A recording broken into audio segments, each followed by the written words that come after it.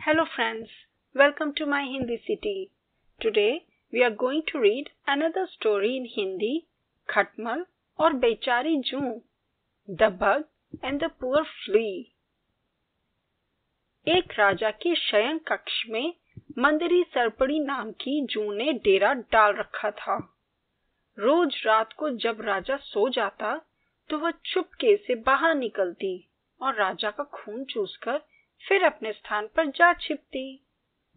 संयोग से एक दिन अग्रिमुख नाम का एक खटमल भी राजा के शयन कक्ष में आ पहुँचा।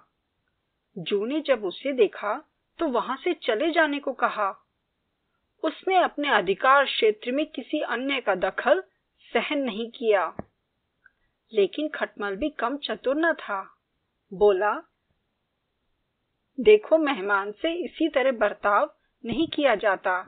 मैं आज रात तुम्हारा मेहमान हूँ।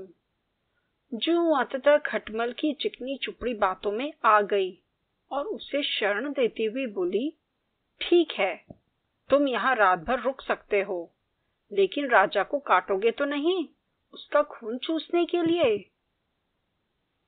खटमल बोला, लेकिन मैं तुम्हारा मेहमान हूँ, मुझे कुछ तो दोगी खाने के लिए और राजा के खून से बढ़िया भोजन और क्या हो सकता है? ठीक है, जू बोली, तुम चुपचाप राजा का खून चूस लेना, उसे पीड़ा का आभास नहीं होना चाहिए।